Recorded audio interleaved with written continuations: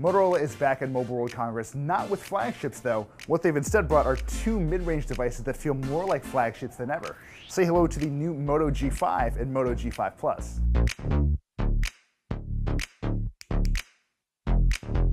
The more interesting of the two is the Moto G5 Plus, not just because it's a bigger, more powerful version of the device, but it's the only one we're going to get in the United States. This will be available unlocked. It'll be compatible with all carriers, but yeah, this is really all you're getting if you want a good, cheap Motorola device in the United States. It does have a Qualcomm Snapdragon 625 chipset, which is one of my favorite mid-range chips, and in my really short time using this device, it does feel really fast. Beyond the really solid performance we get out of the G5 Plus, it does have a pretty decent battery as well. It is a 3000 milliamp hour cell. It is also compatible with the 15 watt turbo power adapter, which will give you about six hours of juice for about 15 minutes worth of charging. You do also get Moto's traditional Moto actions. So giving it the old double crank launches the camera and the karate chop gives you the flashlight. But there is something new to the mix, and it has to do with this guy right here, the new fingerprint sensor. Sure, you can use it to lock and unlock your device, and that's basically table stakes, but if you enable the correct option in the Moto app, you can actually use it to replace your on-screen Android navigation keys completely. It is a really nice alternative to having your traditional on-screen keys, if only because it gives your 5.2-inch 1080p display just a little more room to breathe. Your applications take up a little more space. In general, just feels a little nicer. Speaking of nicer, check out this design. It is a pretty drastic shift away from what Motorola has done in the past with its G series. You remember those really bright colors and swappable plates. Very fun, very customizable. This is a more subtle, more premium looking Moto device.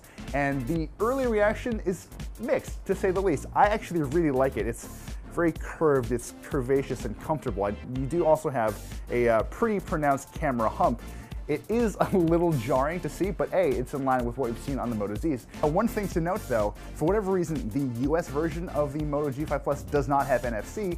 Everyone else gets it. Why? Money, essentially, is the answer.